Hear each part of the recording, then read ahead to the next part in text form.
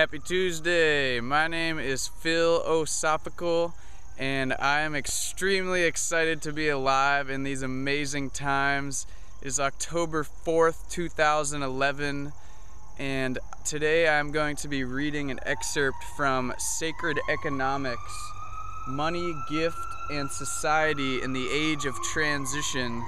As many crazy things are happening, as that ambulance demonstrates. This is a remarkable book by Charles Eisenstein, one of the inspire one of the most inspiring authors writing today in my opinion. So I'm going to read a little clip from the introduction and walk through this beautiful ecosystem here in Pennsylvania. So please enjoy this excerpt from Sacred Economics. At this writing, all over the world, machines stand idle. Factories have ground to a halt. Construction equipment sits derelict in the yard. Parks and libraries are closing, and millions go hungry and homeless while housing units stand vacant and food rots in the warehouses. Yet all the human and material inputs to build the houses, distribute the food, and run the factories still exist. It is rather something immaterial, that animating spirit which has fled. What has fled is money. That is the only thing missing, so insubstantial in the form of electrons in computers that it can hardly be said to exist at all.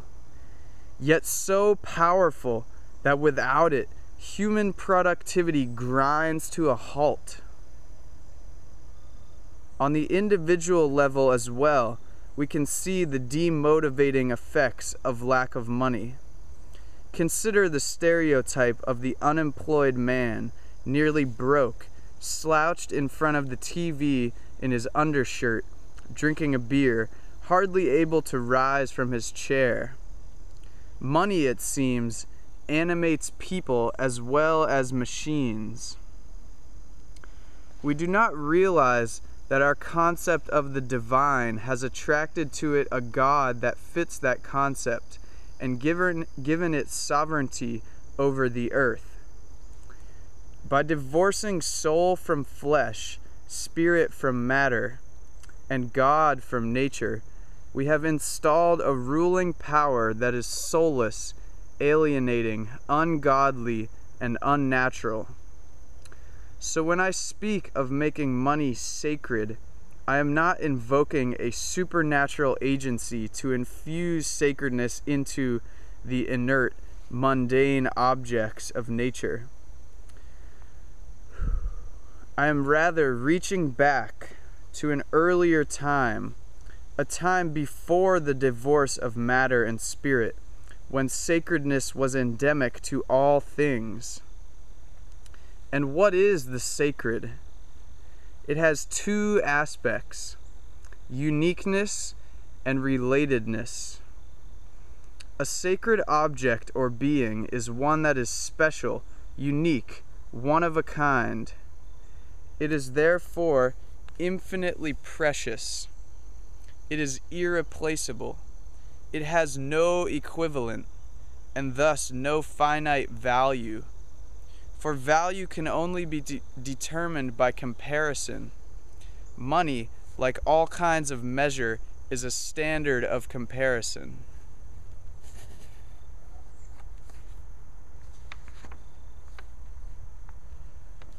Unique though it is, the sacred is nonetheless inseparable from all that went into making it, from its history, from the place it occupies in the matrix of all being.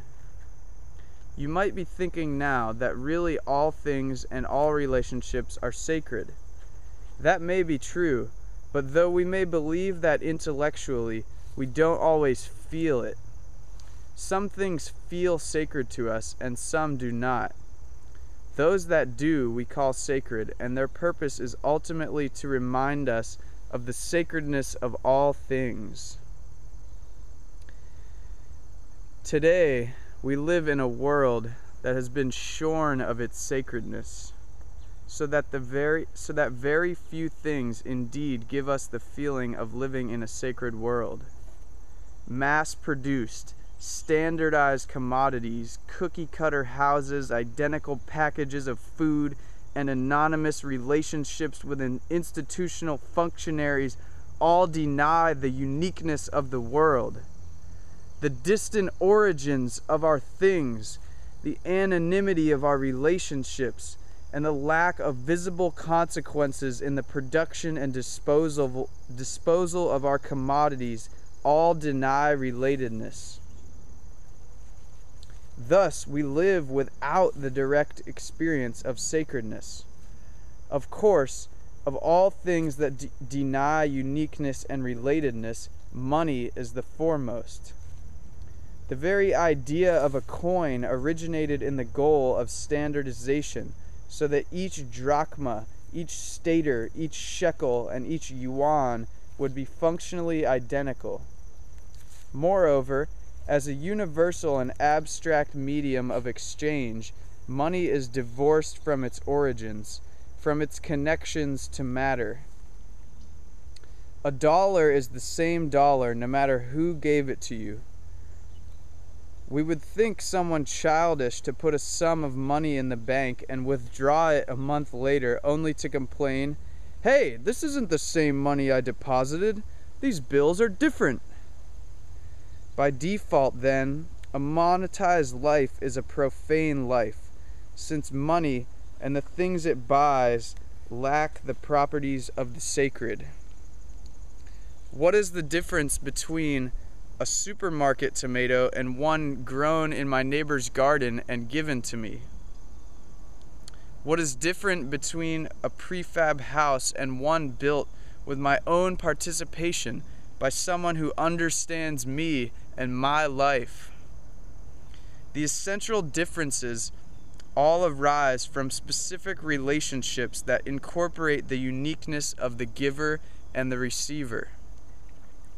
When life is full of such things made with care, connected by a web of stories and people and places we know, it is a rich, nourishing life. Today we live under a barrage of sameness and impersonality. Even customized products, if mass produced, offer only a few permutations of the same standard building blocks. This sameness deadens the soul and cheapens life. The, pre- the presence of the sacred is like returning to a home that was always there and a truth that has always existed.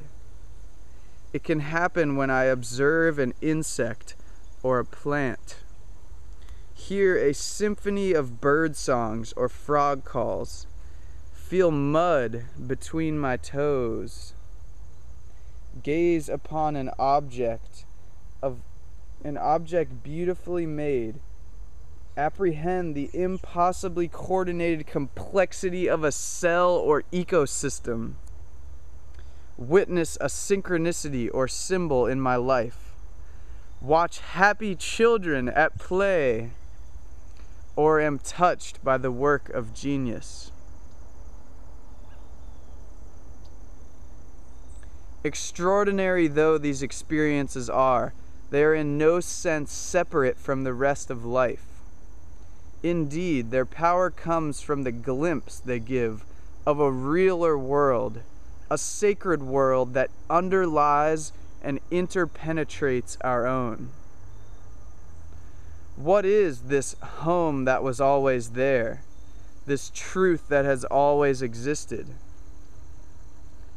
It is the truth of the unity or the connectedness of all things, and the feeling that is that of participating in something greater than oneself, yet which is also oneself in ecology, this is the principle of interdependence that all beings depend for their survival on the web of other beings. that surrounds them, ultimately extending out to encompass the entire planet. The extinction of any species diminishes our own wholeness, our own health, our own selves. Something of our very being is lost.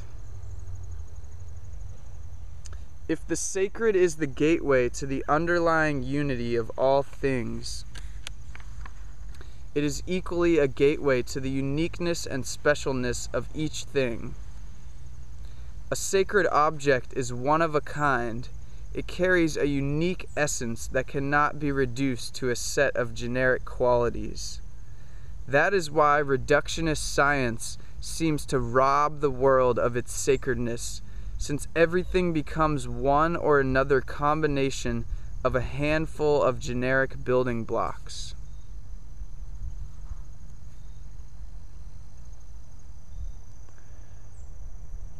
Here comes the sun. Stay tuned for part two of the introduction to sacred economics.